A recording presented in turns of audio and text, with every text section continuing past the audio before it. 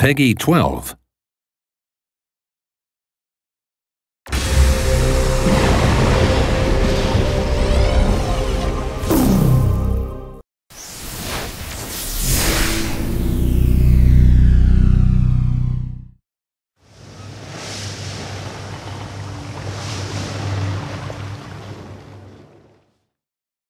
Single ships are of little use, because they have neither a captain nor crew.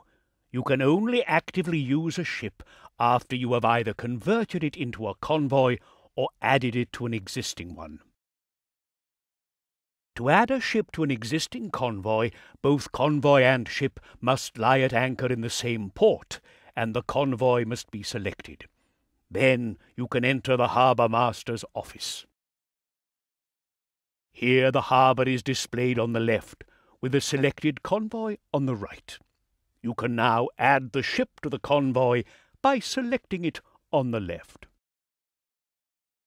The free ship is now gone from the harbour, as only the largest ship in a convoy is shown.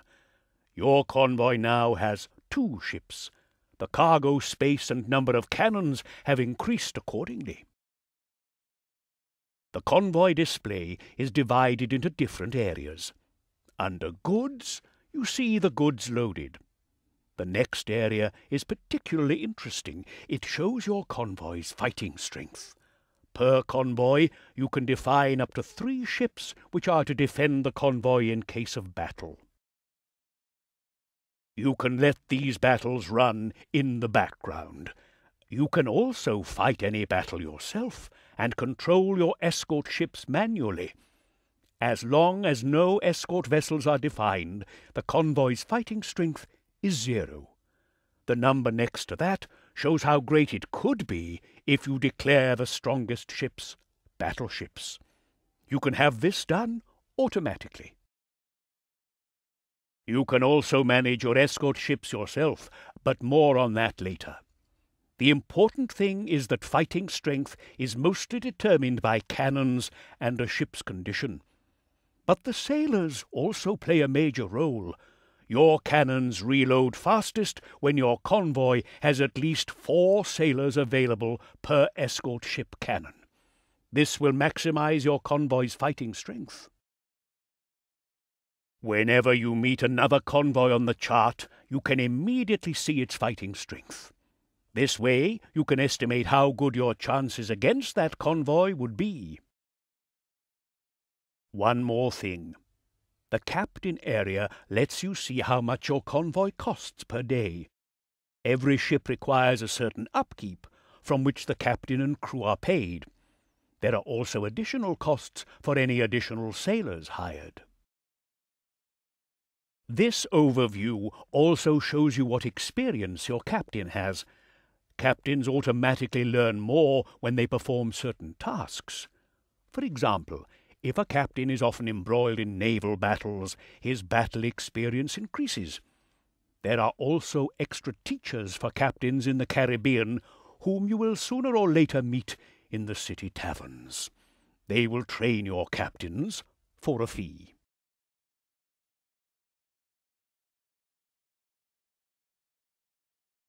If a convoy does become embroiled in a naval battle, only the two convoy's escort ships will fight one another. You can define up to three of a convoy's ships as escort ships. You can have them selected automatically, or you can manage your escort ships yourself. To do so, you must select the Organize function in the convoy overview. This opens a dialog where you can select your escort ships yourself. While the automatic select always chooses the most powerful ships as escort ships, this method allows you to select more agile ships, for example. A ship's fighting strength depends mainly upon its condition and the number of cannons it carries. But the sailors also play a major role. These will be distributed amongst the escort ships at the beginning of a battle, where they reduce the reload time for the cannons. This is shortest when at least four sailors are available per cannon. Such convoys, therefore, have a greater fighting strength. Each escort ship is capable of carrying a certain number of sailors, depending upon its size. You should therefore ensure that your convoy has at least as many sailors as will fit on your escort ships. You can hire new sailors using the dock's equipment dialogue. The important thing is that sailors are recruited from amongst the city's free settlers, just as the workers are. Just how many sailors you can hire, however, depends on your popularity in the city. You will only be able to hire all the available settlers as sailors if it is very high. Otherwise, you will only be able to hire a certain proportion of them. Besides the sailors themselves, the equipment dialogue also offers you hand weapons for those sailors. It is best if the convoy has one hand weapon for every sailor, because if it comes to boarding during a naval battle, sailors with hand weapons are naturally more powerful. Swords are more important than muskets, but you still should not ignore muskets. It is best if your convoy has more than three times as many swords as muskets. Before boarding or being boarded, each sailor takes a weapon according to the ratio of the weapons on board. While settlers come on the great treasure fleets from Europe and are then distributed amongst the cities using trade convoys, handguns are produced in the cities themselves. You may therefore have to approach several cities to equip your convoy to the full. Only your convoy's escort ships take part in any naval battle. This allows you to maintain control of your ships no matter how large your convoy is. During battle, you always control one ship directly. To fire, you have to get an opponent into your cannon's firing range. A crosshair then appears under the opponent. Ideally, it will glow green. When firing, only the side which can actually hit the target is fired. As soon as you fired a broadside, the loading status of the currently selected ammunition will be displayed up here. Each broadside has its own loading bar. The loading time depends on how many sailors are on board the ship. You can change your ship's ammunition at any time. Solid balls do the most hull damage, chain shot is good against sails, and canister shot reduces the opponent's crew. On the left, you can see how much ammunition is on board.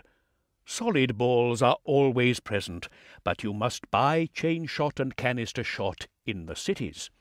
This also applies to exploding barrels, swords, and muskets. You can drop explosive barrels at the touch of a button.